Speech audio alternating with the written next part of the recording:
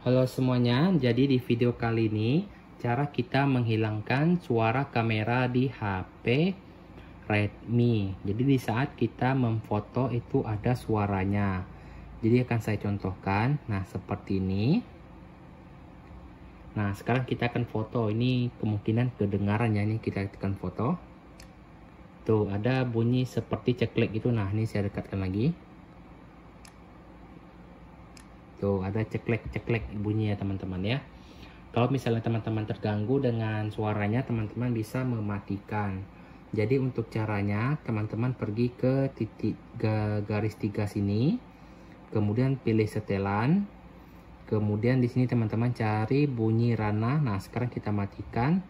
Sekarang kita akan lihat apakah masih ada bunyi ataupun tidak.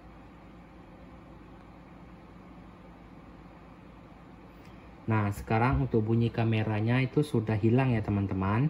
Jadi caranya seperti itu. Kita cukup mematikan rana kamera ini saja ya teman-teman ya. Yang ini, bunyi rana.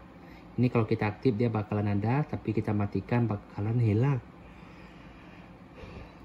Nah, jadi untuk caranya seperti itu silahkan teman-teman coba di HP Redmi yang teman-teman gunakan.